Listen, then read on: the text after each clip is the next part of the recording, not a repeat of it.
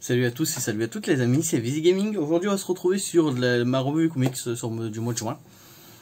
Donc euh, sur mes achats comics, sur ce que j'ai pu acheter et lire sur mes comics euh, de ce mois-ci. Et je vais vous présenter ça, je vais essayer de faire une, vidéo assez euh, concise et courte. sur tous mes achats et sur ce que j'ai pu lire. Donc mes achats directement, on va passer à ça.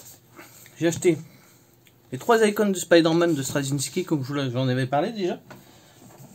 Et comme je vous ai dit que je voulais découvrir euh, plus euh, Tennis, j'ai acheté le premier tome. C'était... Je l'ai lu. C'était tellement bien que j'ai pas pu m'empêcher d'acheter un deuxième tome que j'ai pas encore commencé. Mais on va revenir, on va revenir dans la vidéo pour, pour parler de ça. Pour parler un peu des éditions et pour parler aussi de, euh, de mon retour de lecture de, ce, de, ces, de ces deux comics. Donc on va commencer d'abord par le Spider-Man. Par les Spider-Man de Straczynski et de John Romita Jr. au dessin. Sur les deux premiers volumes, parce que le troisième volume, euh, John Romita Jr. C'est, euh, est parti euh, pour dessiner autre chose, parce que ça faisait un moment qu'il était déjà sur Spider-Man. Et puis il a été remplacé par, il, a été remplacé par Mike Deodato Jr. Donc un junior pour un junior. et le style visuel il, change, je, vais vous faire voir ça après, mais franchement il pas, c'est pas très très grave on va dire. Donc la lecture de ce comics, je vais vous parler un peu de l'édition d'abord et après seulement je vais vous parler de, euh, euh, la lecture directement. Donc l'édition, bah, c'est les, les Marvel qui sont en train de disparaître hein, parce que je vous en ai parlé plusieurs fois et c'est confirmé en fait. Panini arrête cette collection c'est des grands runs, des grandes histoires. C'est pas des, euh, des chapitres, c'est des grandes histoires euh, directement. Et ça disparaît. Donc euh, si vraiment vous voulez connaître des, grands runs, des grandes histoires, pas des pas des, des par, parcimonées de plusieurs chapitres par-ci par-là, c'est tout d'un coup des blocs. Il faut vraiment enfoncer sur les Marvel Icons. c'est ce qu'il y a de, de moins cher peut-être chez Panini, avec autant de lecture. Là, c'est un peu moins gros, que, enfin c'est beaucoup moins gros que mon que. X-Men c'est deux fois, enfin c'est beaucoup plus gros que ça. Pas deux fois, mais j'abuse, mais c'est beaucoup plus gros.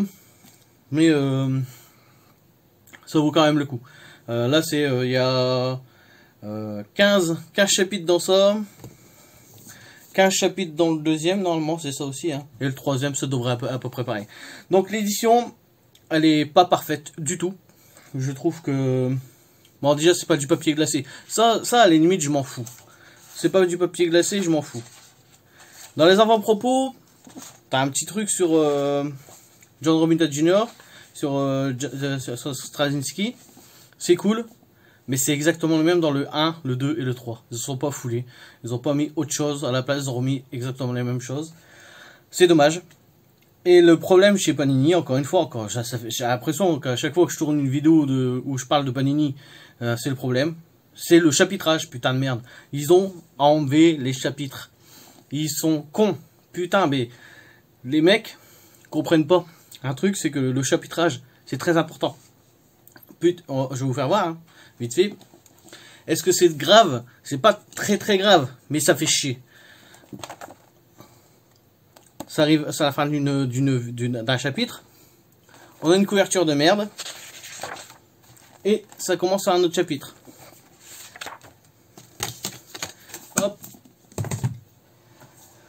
Euh, c'est pas celui-là, c'est l'autre. C'est exactement le même. Hein. Fin du chapitre. La couverture du chapitre suivant. Et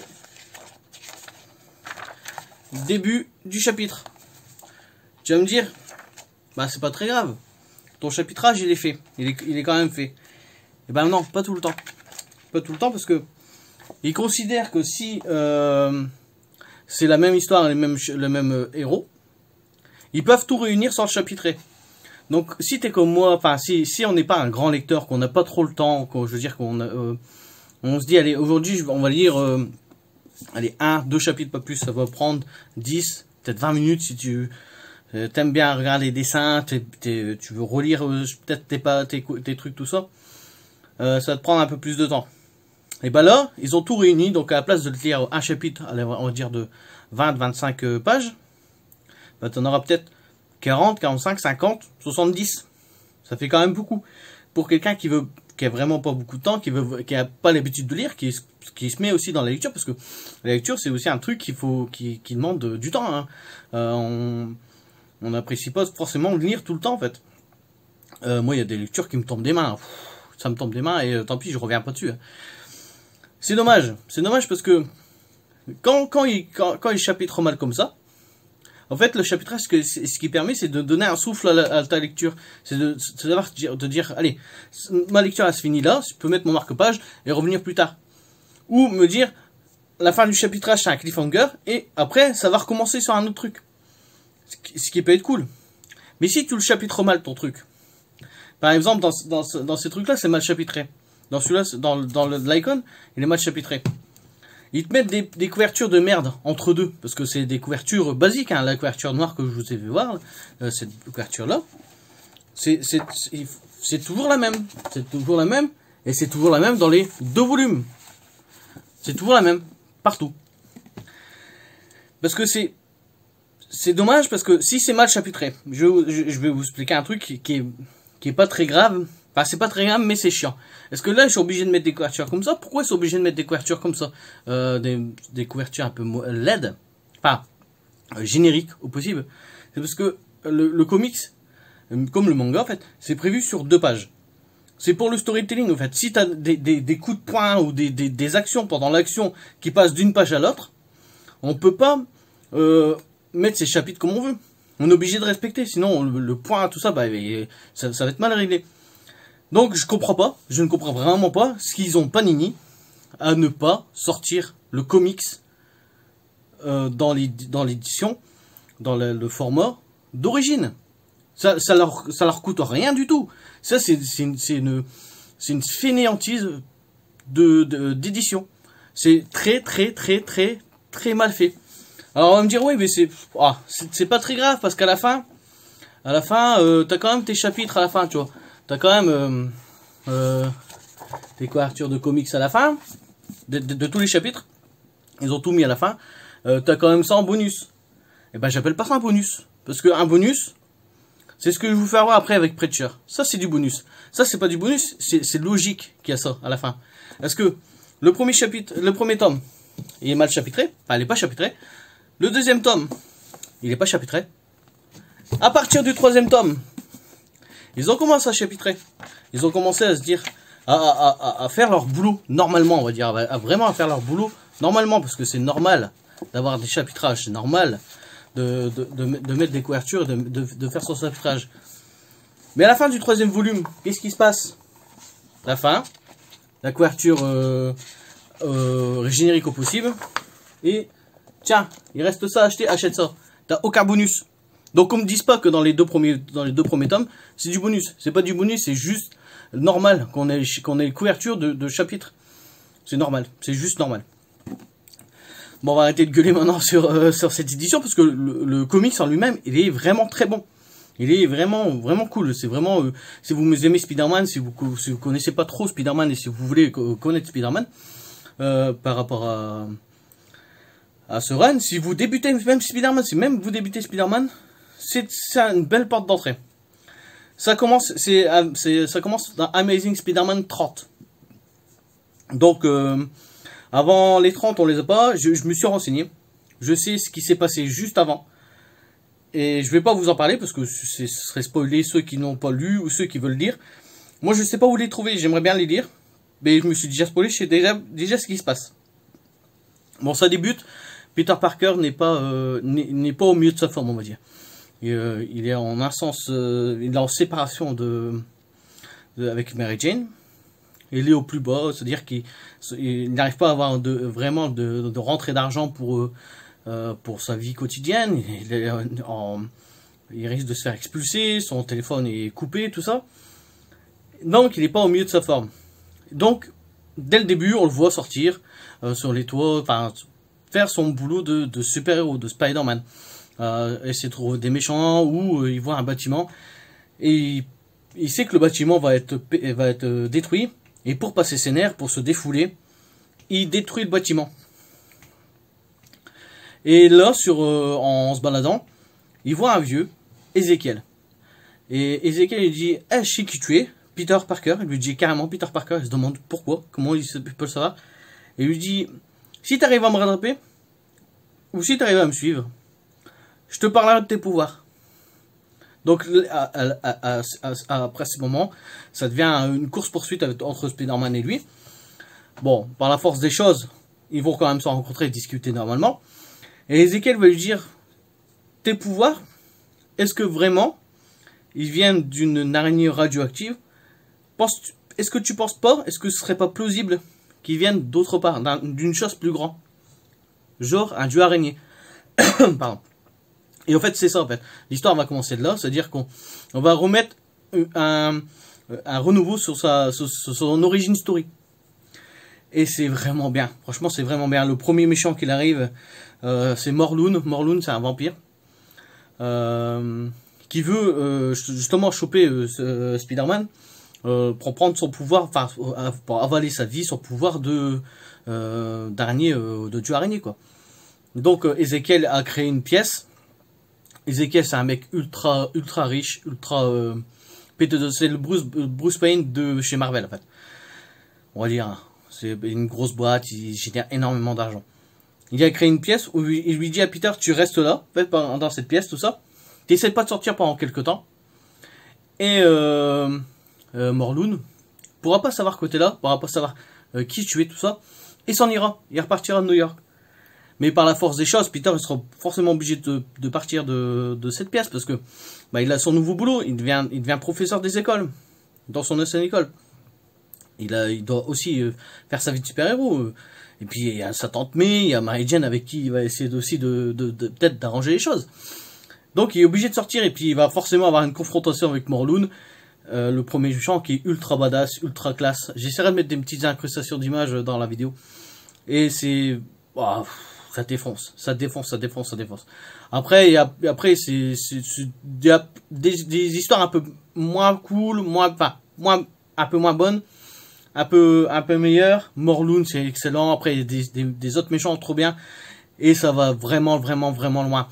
Euh, son origin story, elle euh, on, revoit plein de trucs sur son origin story avec euh, son oncle, tout ça. C'est vraiment trop bien. À un moment donné, on voit Doctor Strange qui l'envoie, lui dit euh, parce qu'en fait, il y a un méchant qui utilise une autre dimension pour, euh, pour embarquer des gens. Il lui donne le, le, le, le, pouvoir, pas, pas le pouvoir, mais il lui donne une solution d'aller le choper dans une autre dimension. Il lui dit surtout, surtout, tu restes dans, ton, dans ta ligne euh, temporelle, on va dire. Tu, tu sors pas de cette truc, tu ramènes le méchant et tu fais ton affaire. Et Peter, bah forcément, il va entendre quelque chose, il va voir quelque chose, il va partir de sa ligne de... Et puis il va voir le dieu araignée qui lui dire, mais au fait, tu n'as rien à faire là, en fait.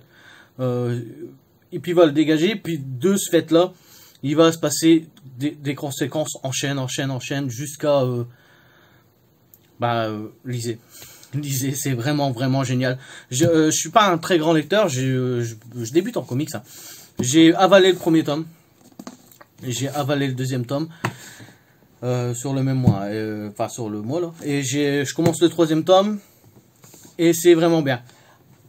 Petit truc, si vous avez euh, la collection Hachette, cette collection de Hachette, euh, les 30, les 60 volumes, ou si vous avez juste les, les numéros de Spider-Man, donc euh, Vocation et Confession, vous avez quasiment l'intégralité du premier du premier du premier icon.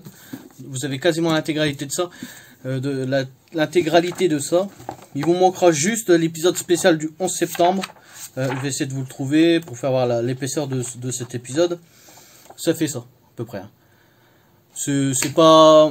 C'est non canonique. L'épisode du 11 septembre, c'est non canonique. C'est euh, juste, bah, avec les attentats du 11 septembre, les, les, avions qui sont dans les tours, hein, dans le monde réel, euh, bah, en fait, c'est euh, un truc sur la bonté, sur le, surpassement de soi, les héros qui vont, les méchants qui vont s'allier aux héros pour construire une Amérique plus forte. Bon, c'est ça joue du violon tout le long, hein. c'est pas très, pas, ça dure pas longtemps. Euh, c'est non canonique, c'est pas intéressant. Donc si vous avez vraiment cette édition là que vous voulez euh, euh, cette collection là, achète la grande saga et que vous voulez pas dépenser plus, 35 euros c'est quand même un prix. Hein. à la limite, l'épisode du 11 septembre, ça peut, ça peut très bien se passer. Donc les trois tomes, 105 euros à peu près les trois tomes. Et voilà, j'en ai fini avec cette saga. Et maintenant, on va passer au Preacher. Preacher, Preacher. Donc, quand je vous disais que Marvel Icon, 35 euros, c'est pas trop cher. Euh, l'édition, elle est pas, pas ouf, mais c'est pas trop cher. Ah, je vous présente Preacher. Preacher, c'est quoi? Eh ben, c'est aussi gros qu'un icon, que les icons de Spider-Man. Ça coûte 28 euros. Ça coûte encore moins cher. Et l'édition, elle est juste parfaite. Parfaite, parfaite, parfaite. C'est-à-dire que le comics, il est chapitré. Donc, fin du, premier, du premier chapitre. Du bonus, du bonus, chapitre 2, chapitre 2. Et on continue l'histoire. On peut me dire, ouais, non, mais euh, tu, nous, fais chier avec euh, tes couvertures. Euh, les couvertures, elles sont pas là. Toutes les couvertures, elles sont à la fin. C'est euh, en fait ils ont mis cette couverture aussi banale pour avoir une, unité dans, l'édition. Mais toutes les couvertures elles sont à la fin et au moins toutes les, chapitres sont placés au bon endroit. Donc donne un souffle au, à, l'endroit où l'auteur l'a décidé. De 1. De 2, ça fait 15 chapitres, donc 15 couvertures, et il y a 50 plus de 50 pages à la fin de bonus. C'est-à-dire qu'il y a des bonus à plus ce qu'il en, plus qu'il en faut.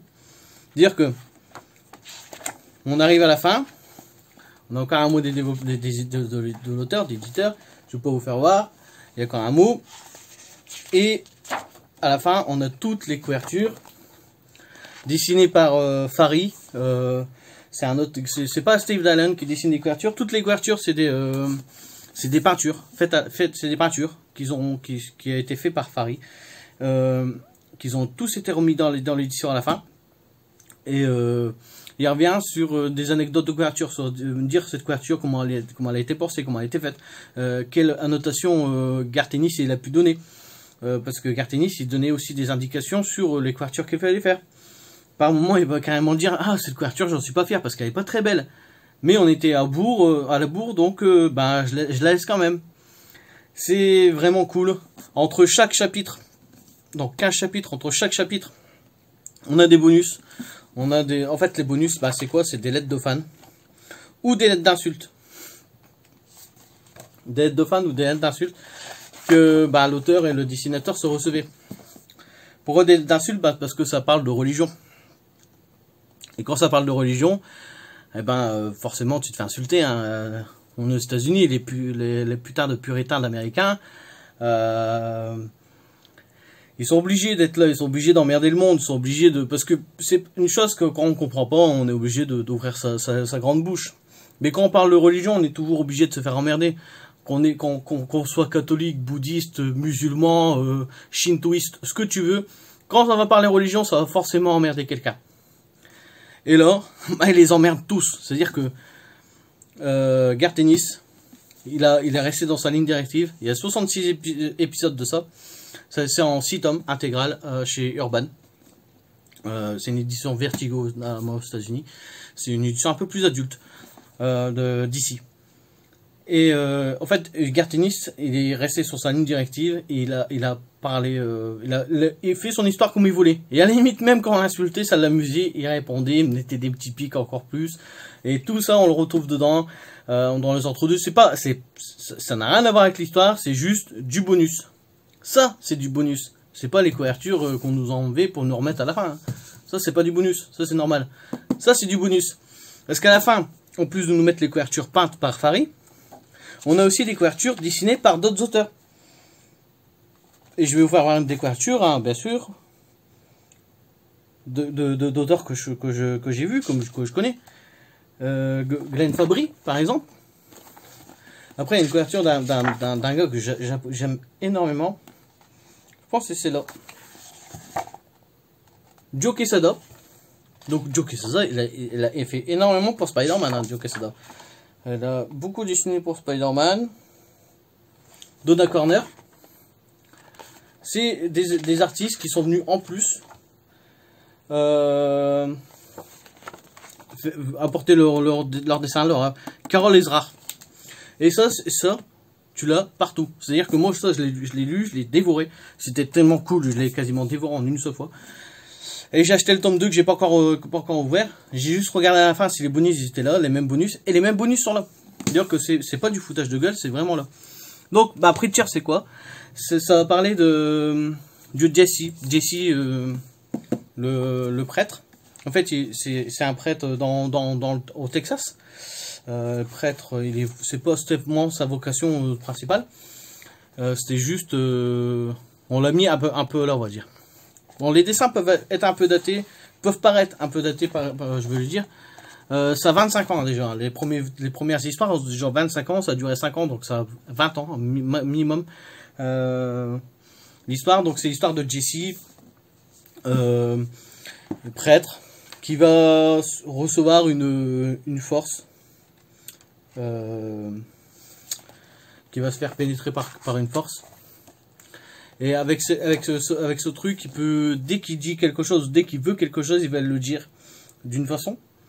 Et la personne en face sera obligée de le faire. C'est-à-dire qu'elle sera dans l'obligation, elle sera pas, euh, elle n'aura pas d'autre choix. Euh, je vous un petit spoil, par exemple, juste dans le premier tome, dans les premiers chapitres, il se fait emmerder euh, bah, parce que, en fait, avec l'arrivée de ce, de, de, cet être qui va rester en lui, ça va brûler toute sa paroisse, il va avoir beaucoup de morts, tout ça, donc il va y avoir une enquête de, sur, sur, sur, sur Jesse, sur Tulip et sur euh, un, un, un, vampire qui, qui sont avec lui. Oui, un vampire. Et euh, il va se faire emmerder, il va se faire poursuivre par la police. Et à un moment donné, juste pour, pour arrêter, pour calmer les choses, il va, dire à un, flic, euh, euh va te faire mettre. Pour, pour, tu vois, baisse ton arme, va te faire mettre, tu vois. Le flic, qu'est-ce qu'il va faire Quand tu finis le chapitre, tu commences l'autre, tu le vois qu'il est dans une, dans une ambulance. Il a arraché sa bite et l'a mis dans son cul. Ça, c'est du comics.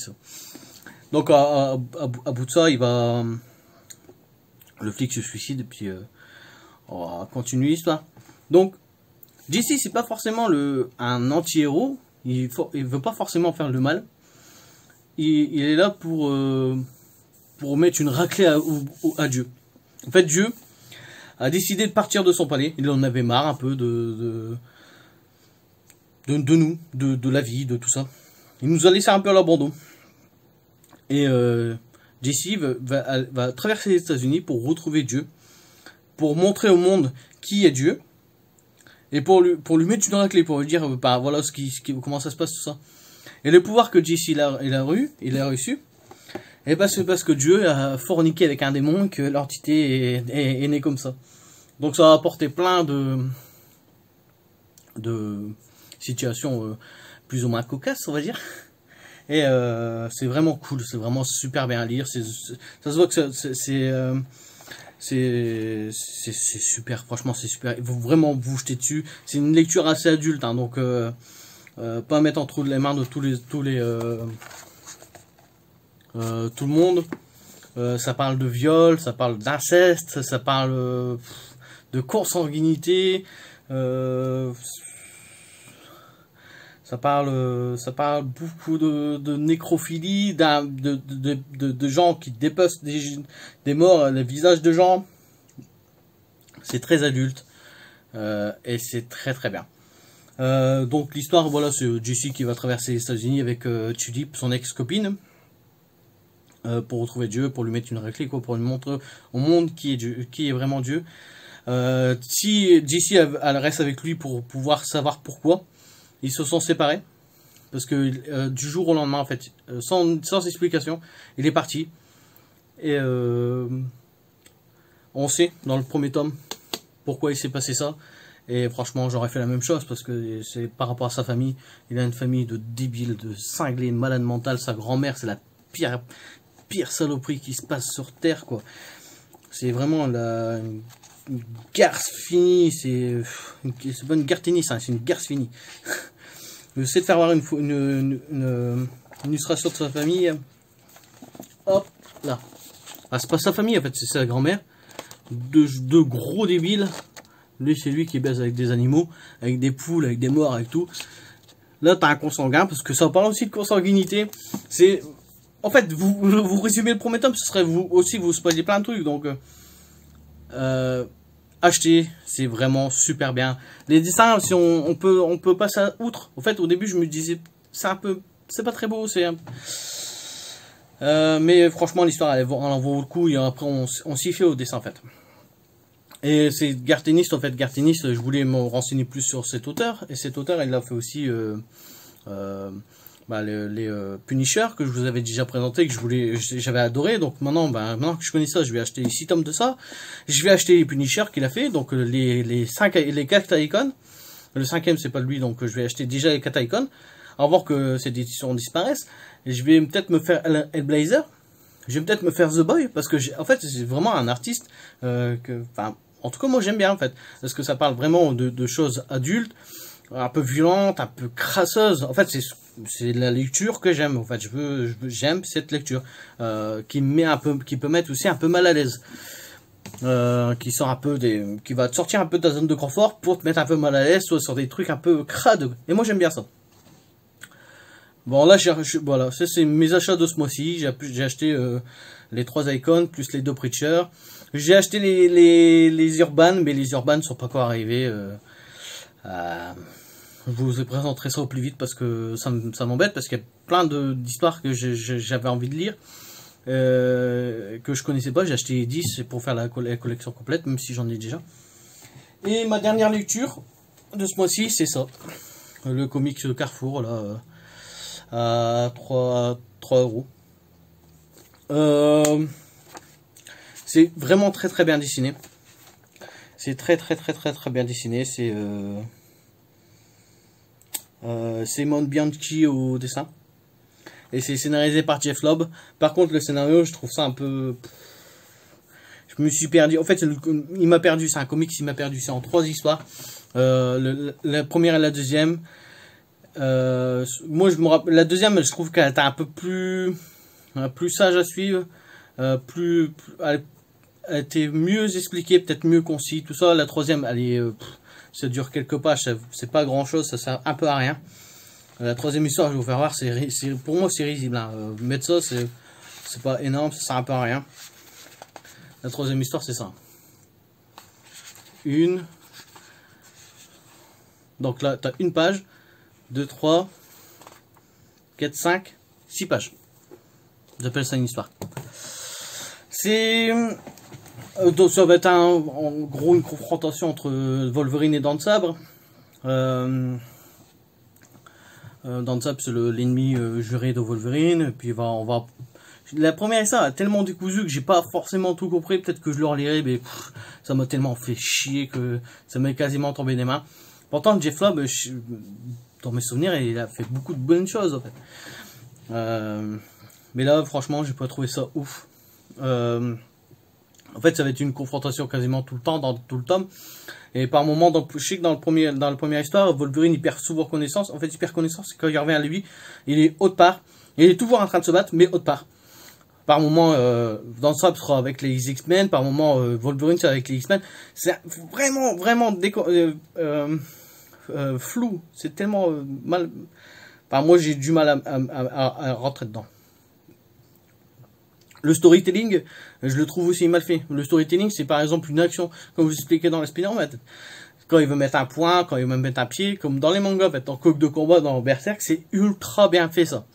Quand tu vois qu'il porte un coup, que ce soit Guts ou Naoshima, on le voit qu'il le porte. On le, par moment, quand je lisais euh, Berserk, comme mon, mon pote Fabien m'avait prêté les Berserk, je me dis merde, est-ce que je l'ai lu ou est-ce que je l'ai vu dans l'animé ça? Tellement c'était bien retranscrit. Et ben je trouve que dans, les, dans ce comics, pas dans tous les comics, mais souvent dans les comics en tout cas. Euh, c'est un truc que je trouve qu'ils ont du mal à faire et à intégrer. Et là, je trouvais que par moment, euh, je comprenais pas l'action. Je comprenais pas d'où venait le coup. Je comprenais pas euh, tout. Et par moment, je remenais une, deux, trois pages en arrière pour me dire ah ok, j'ai raté ça, j'ai pas vu ça. L'histoire elle est banale, c'est pas ouf, c'est très très bien dessiné par contre, c'est vraiment magnifique, c'est ultra beau. Euh, il y a des dessins euh, somptueux. Mais le scénario laisse à désirer. Franchement, laisse vraiment à désirer. C'est assez violent. Euh, Mais euh, 3 euros, c'est bien. Soit je l'ai acheté vu que ça fait partie de la collection. Mais euh, j'arriverai pas à le conseiller. Franchement, j'arriverai pas à le conseiller.